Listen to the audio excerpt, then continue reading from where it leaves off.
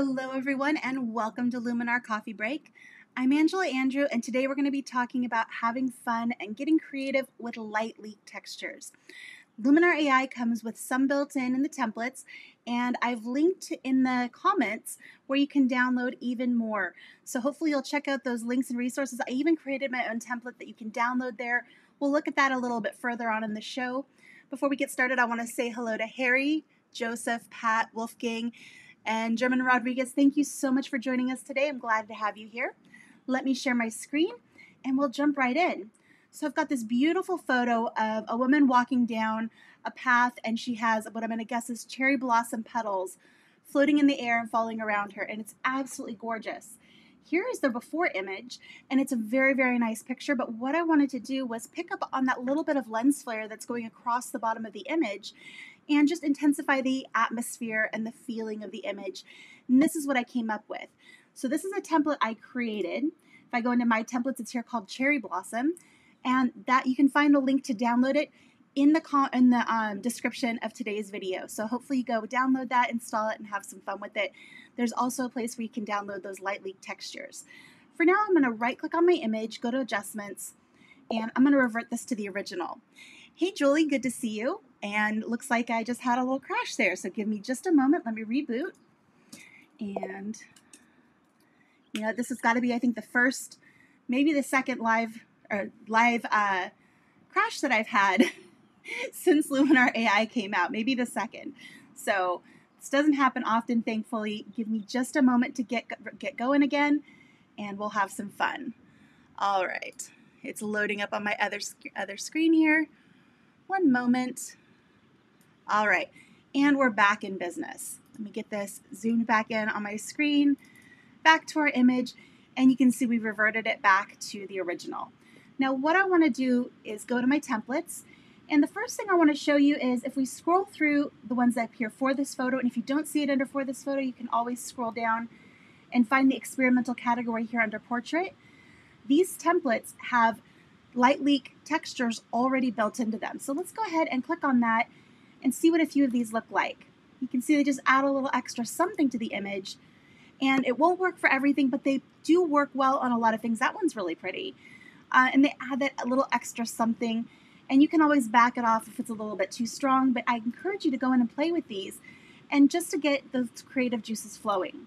What I'm going to do is right click on this again. I'm going to go to adjustments and revert this to the original once more. And I'm going to make my own template and show you exactly what I did. I'm going to start by going out to templates. And this first category here has scenery and one here called fast fix. And you can see I've already marked it as a favorite. If I go back over to templates and into my favorites, fast fix is right there at the top because it's one that I use all the time. It's not just for landscape images. It works on a variety of different images. So let me go ahead and apply that and you'll see that immediately gives us a little bit more contrast, makes the colors pop a little bit more, and just does a really nice job of improving the image. Now let's go to the Edit tab and make a few other small adjustments. I'm going to scroll down and go down to our portrait tools. And we're going to work a little bit here on her skin and her face. She's absolutely gorgeous, but I want to lighten up her face a little bit and make her eyes sparkle a little bit more. So we'll start with Face AI. I'm going to pull up the face light. And you'll see that just opens up some of those shadows right there on her skin. Also go down to the section for eyes pull that iris flare quite a bit and the eye enhancer. Now, just for good measure, I'm going to scroll down a little bit more, go to our Skin AI, and pull up a little bit of skin softening just to make her look her absolute best. And I think that looks great. Let's take a look at the before and the after. Really, really nice. Now let me zoom back out. I do think we could work a little bit on the composition, so I'm going to scroll back up to the top to Composition AI. Let's click on the Composition AI button and see what the AI suggests. Now that's not too bad, but I think I can do better. So one thing you want to always want to remember is when you're working with AI-based tools, take their suggestions, look at them, but make your own critical decisions as to whether or not you want to run with that choice. In this instance, I'm going to make a few adjustments, pull this down a little tighter here, and just adjust right about there. Maybe even pull a little bit closer, and then hit return on my keyboard. So now I've positioned my image exactly where I wanted. I have a great crop. Let me take a quick look here at the comments and see how everybody's doing here. Uh, Jerry wants to know how do you mark a template as a favorite? That is a great question. Let me pop back over to my templates tab. And for instance, like I said, I marked scenery as a favorite, or um, that fast fix one under scenery as a favorite. If you go down, you'll see that the, the little heart symbol here is empty. Over fast fix, it's full. And that's because I've marked this one as favorite. If I go to clear and sharp, I can hit that heart and, and mark that as a favorite as well. So great question, Jerry. And uh, Julie says she's never had a crash uh, until the last update, and she's had three so far. Uh oh, that's not good, good, Julie. I hope you've reached out to our support team for them to take a look at that. I'll definitely be doing that after this episode as well. Okay, so back to our edit. The next thing I want to do is add one of those light leak textures. And you can download these with the link that's in the description for today's video. So I'm going to go to local masking, click on add, and we're going to add a texture. Now I'll go down to load texture and give this a moment to load up. And I'm, I keep all of my assets on an external hard drive and in a folder called Sky Texture LUT. This is where I put all of my different photo assets. And I know Vanelli recently had an episode where he talked about how he organized his assets. This is how I do mine, and all of those light leak textures are here under borders and textures and here in a category called light leaks.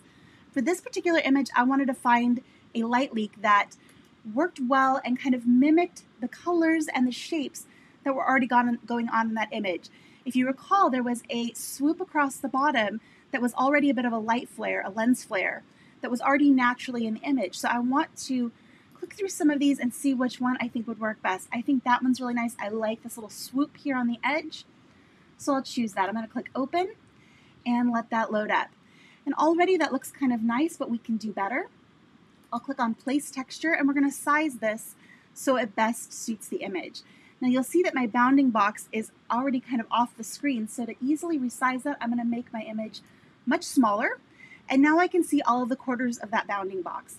I'm going to grab the outside of this and rotate it so my shape is the same as my image. I'm going to move this down so I can grab those corners and then just start dragging in those corners to resize it so I am at the same shape as my image. Now that I have the, the side, the width correct, I can grab the top and this just scrunches the texture so it fits the image properly. So there we go, that's pretty good. And now I can hit return on my keyboard to go ahead and commit that. From here, I'm going to grab my opacity and pull that all the way up to 100 so I can see the full effect. And we can then turn this around, flip it around, and see where we want that image to be. Now, I am encountering an issue here that some of you might have encountered where the bounding box does not actually show the true edges of where you're placing it. So I'm going to click on Place Texture again, and I'm going to drag that up, and you can see where the bounding box edges are. It's not properly aligned. Our support team is aware of that, of that issue, and it hopefully will be fixed in the next update. So from there, I'll hit return on my keyboard, and now we can carry on. Okay, so now again, let's flip this around and see if we can get it kind of right where we want it to be. And I think probably right about there looks pretty good. Now I'm going to back off that opacity because I really just want it to add a little bit of extra a little extra something to the image. You know, I'm going to flip that around one more time. There, I like that quite a lot. Um, now, as I look at this, I feel like the effect is maybe a little bit strong on her face and on her torso. So we can use our masking tools to lessen that effect a little bit. I'm going to click on Erase, and I'm going to bring my opacity down because I want this to be a very soft, subtle effect. And then I'm going to just lightly brush this over her face. You can see it just very lightly lessen the effect there. Going to make my brush a little bit bigger, and then I'm going to just gently brush over her torso here as well. Maybe once more, and the effect is cumulative, so when you're using a low opacity, it's going to minimize, or it's going to kind of layer up the effect. So if, since I'm erasing, every stroke is going to erase another 23%. So it's just going to layer it up a little bit, and so that way you can kind of seamlessly blend that in there and have a really natural looking effect. I think that looks really, really lovely. The final thing I want to do here is go to my tools and I'm going to add a nice big soft vignette. And this is just going to draw our eye into the subject and kind of complete the image. So I take my mount slider, I pull it all the way down to negative 100, and I might pull my size a little bit smaller here. I think the placement is really good, so I'm not going to click on choose subject. The placement I think works. I will click in advanced settings, pull that feather up nice and high for a nice smooth transition and maybe even add a little bit more of inner light here. And then we'll grab the amount slider and pull that back up and adjust it to the point where it looks natural. I think right about there looks awesome. So let's take a look at our before and our after. I think adding the light leak to this image works really, really well because it matches the atmosphere, that very dreamy kind of mystical feel of these petals falling around. It works really well with the lens flare that was already there. So again, if I take the before, you can see across the front of our torso there's already a light leak that naturally occurred when the photographer shot this image. We've just taken that and enhanced the feel a little bit to give it a little bit more atmosphere. So I hope you guys like that. It's a lot of fun. I encourage you to both play with the experimental templates that are built in and to grab that pack of light leak textures that I linked to in the description for this video. They're a lot of fun to play with. Like I said, they don't work with every image, but there's certain ones it can just really make the image come alive. Let me take a quick other look here at the comments and make sure that everybody's questions have been answered. Jerry says petals not included. Not in this one, but I'm sure there are petals textures that you could download online to get a similar look uh, without having to have caught that in camera. Let's see here.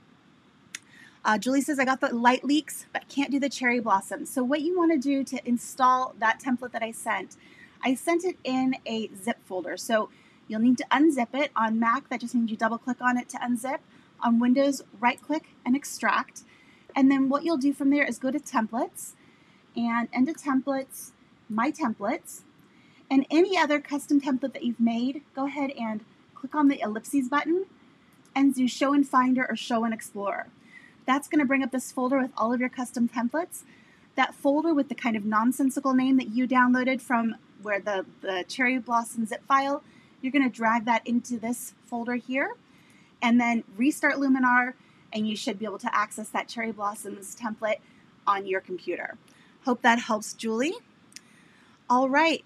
Do you guys have any other questions for me? If you do, let me know in the chat, or if you're watching the recording of this later on, make sure you put that in the comments. And I check those as well as our support team checks in on those comments regularly. So I hope this was helpful. I hope this gave you some fun ideas. I wish you guys all a really wonderful rest of your day, and I will see you on Friday. Have a great one. Bye bye, everyone.